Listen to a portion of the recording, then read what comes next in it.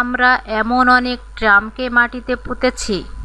ইরানের সঙ্গে পারমাণবিক চুক্তি থেকে মার্কিন প্রেসিডেন্ট ডোনাল্ড ট্রাম্পের সরে আসার হুমকির পর বেশ খেপেছে ইরান। দেশটির সামরিক বাহিনী কোচ ফোর্সের ডেপুটি কমান্ডার তো সরাসরি মৌখিক আক্রমণ করে বসেছেন ট্রাম্পকে। পাল্টা হুমকির স্বরে ঘানি বলেন, আমরা যুদ্ধবাজ দেশ নয়। ইরানের বিরুদ্ধে কোনো ধরনের সামরিক পদক্ষেপ নিলে আফসোস করতে হবে।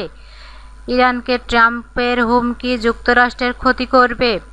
আমরা এমন অনেক ট্রাম্পকে মাটিতে পুঁতেছি। আর এটাও জানি কীভাবে যুক্তরাষ্ট্রের বিরুদ্ধে যুদ্ধের মাঠে নামতে হয়।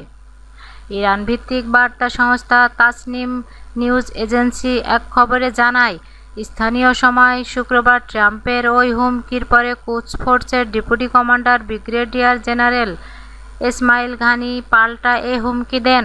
এর আগে শুক্রবারে ইরান সরকারকে অতি গোড়া বলে আখ্যায়িত করে দেশটির সঙ্গে পরমাণু চুক্তি থেকে সরে আসার হুমকি দেন ট্রাম্প।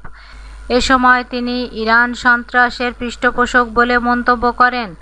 দেশটির ওপর নতুন নিষেধাজ্ঞার পরিকল্পনার কথাও জানান তিনি।